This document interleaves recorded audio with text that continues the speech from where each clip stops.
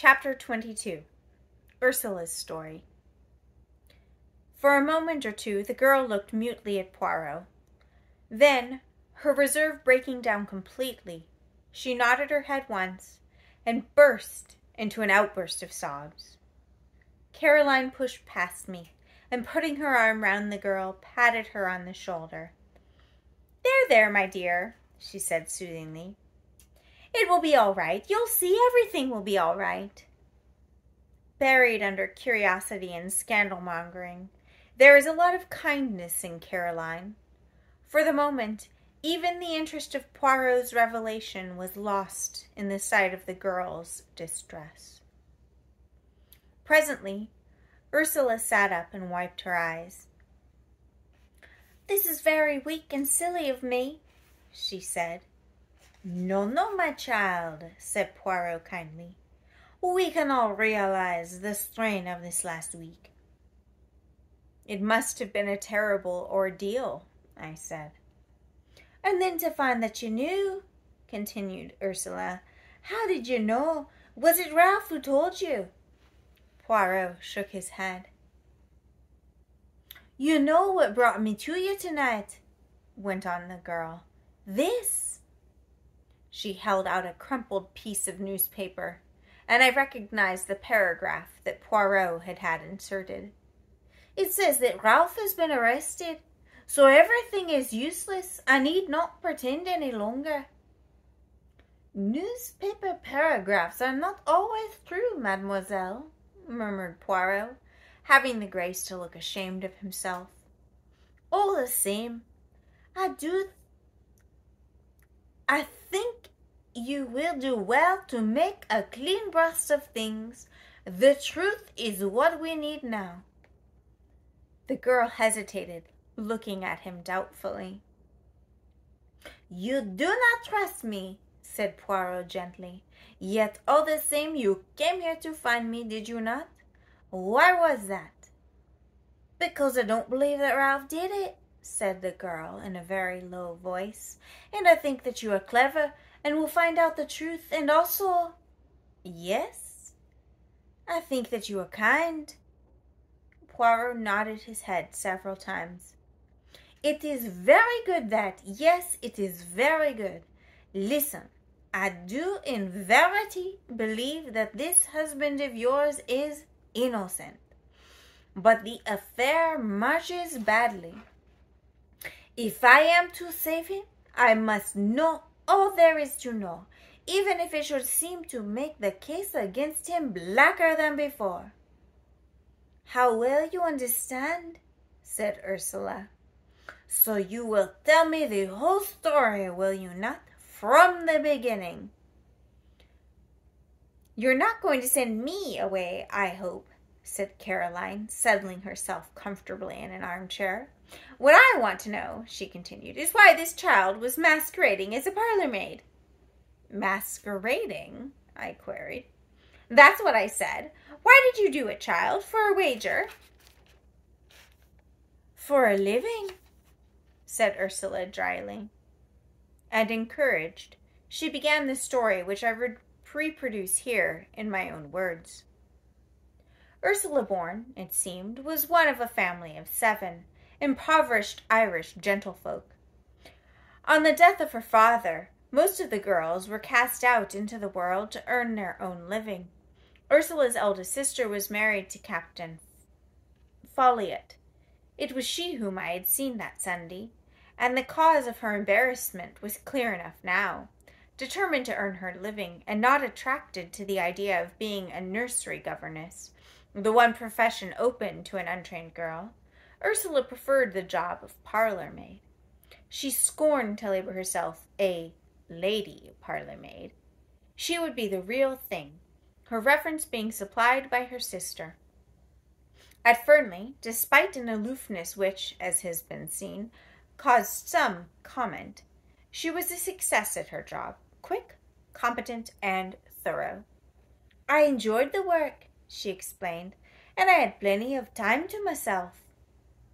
And then came her meeting with Ralph Paton, and the love affair which culminated in a secret marriage. Ralph had persuaded her into that, somewhat against her will. He had declared that his stepfather would not hear of his marrying a penniless girl.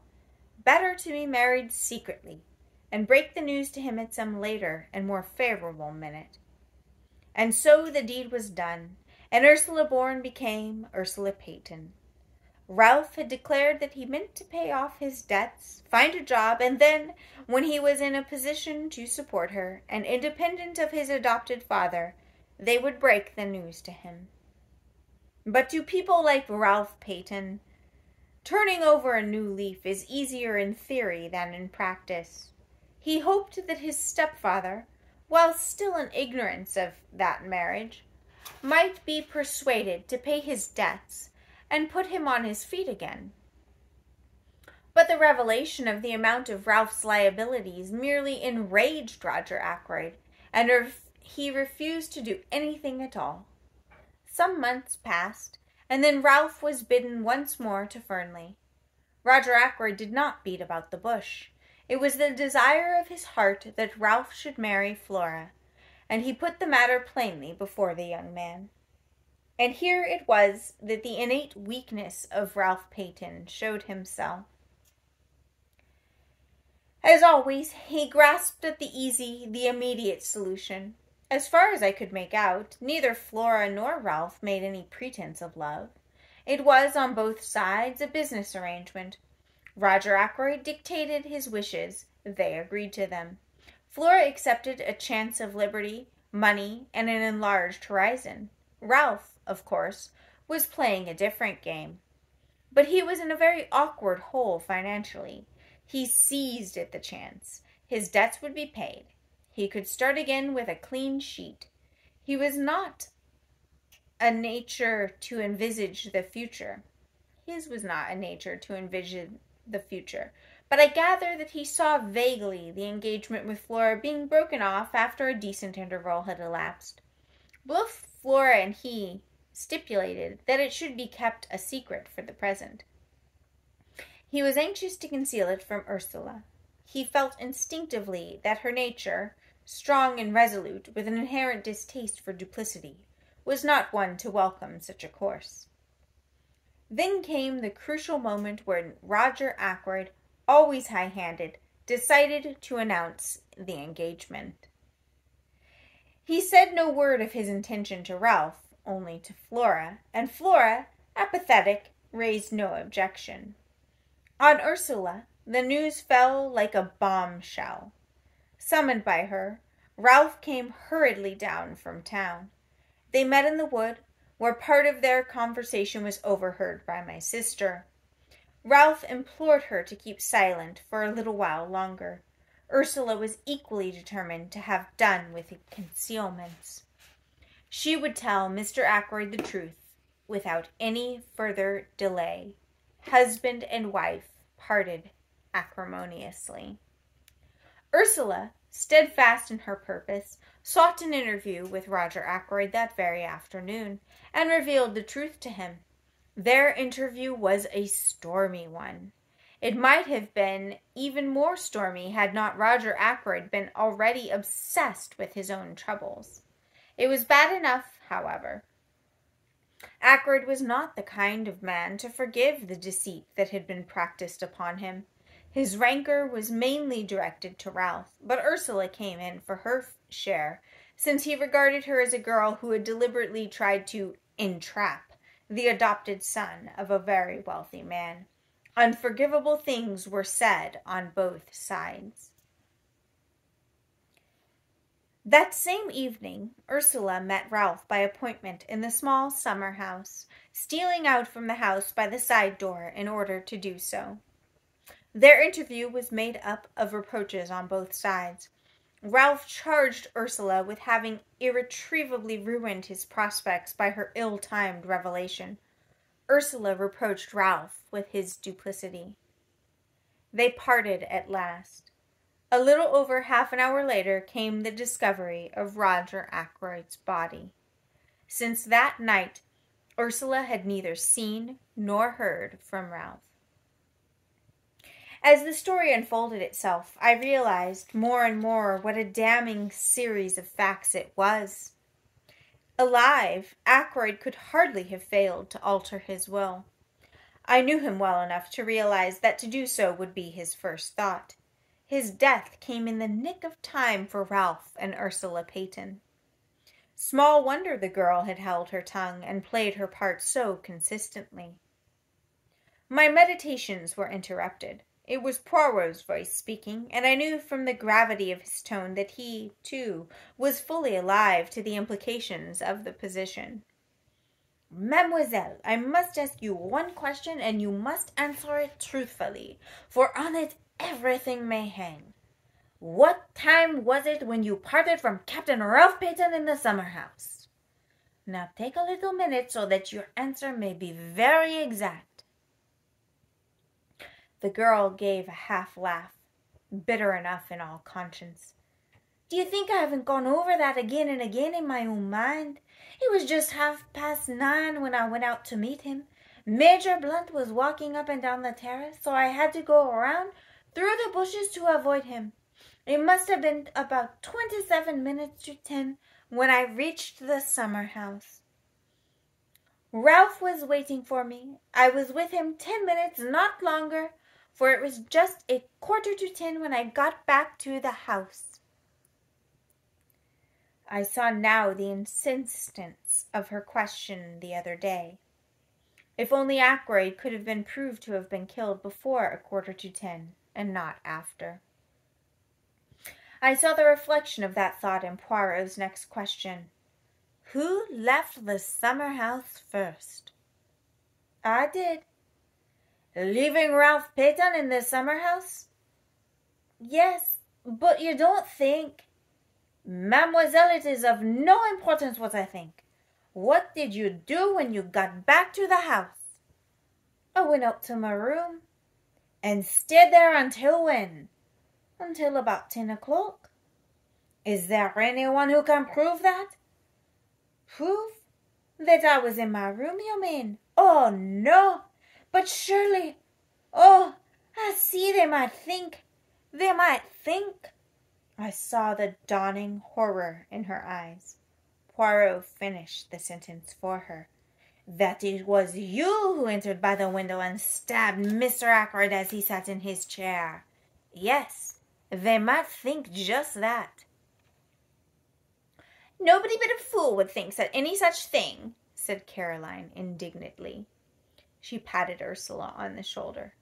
The guilt the girl had her face hidden in her hands. Horrible, she was murmuring. Horrible. Caroline gave her a friendly shake. Don't worry, my dear, she said. Mr. Poirot doesn't think that really. As for that husband of yours, I don't think much of him, and I tell you so candidly. Running away and leaving you to face the music. But Ursula shook her head energetically. Oh, no, she cried. It wasn't like that at all. Ralph would not have run away on his own account. I see now. If he had heard of his stepfather's murder, he might think himself that I had done it. He wouldn't think any such thing, said Caroline. I was so cruel to him that night, so hard and bitter. I wouldn't listen to what he was trying to say, wouldn't believe that he really cared. I just stood there telling him what I thought of him and saying the coldest, cruelest things that came into my mind, trying my best to hurt him. Do him no harm, said Caroline. Never worry about what you say to a man. They're so conceited they never believe you mean it if it's unflattering. Ursula went on nervously, twisting and untwisting her hands. When the murder was discovered and he didn't come forward, I was terribly upset. Just for a moment I wondered, but then I knew he couldn't. He couldn't. But I wished he would come forward and say openly he had nothing to do with it. I knew that he was fond of Dr. Sheppard, and I fancied that perhaps Dr. Sheppard might know where he was hiding. She turned to me. That's why I said what I did to you that day. I thought if you knew where he was, you might pass on the message to him. I? I exclaimed. Why should James know where he was? demanded Caroline sharply. It was very unlikely, I know, admitted Ursula. But Ralph had often spoke of Dr. Sheppard and I knew that he would be likely to consider him as his best friend in King's Abbot. My dear child, I said, I have not the least idea where Ralph Paton is at the present moment. That is true enough, said Poirot. But Ursula held out the newspaper cutting in a puzzled fashion. Ah, that, said Poirot, slightly embarrassed. A bagatelle, mademoiselle. A rien du tout. Not for a moment do I believe that Ralph Paton has been arrested. But then, began the girl slowly. Poirot went on quickly. There is one thing I should like to know. Did Captain Paton wear shoes or boots that night? Ursula shook her head. I can't remember. A pity. But how should you? Now, madame, he smiled at her, his head on one side, his forefinger wagging elegant, eloquently. No questions, and do not torment yourself. Be of good courage and place your faith in Hercule Poirot.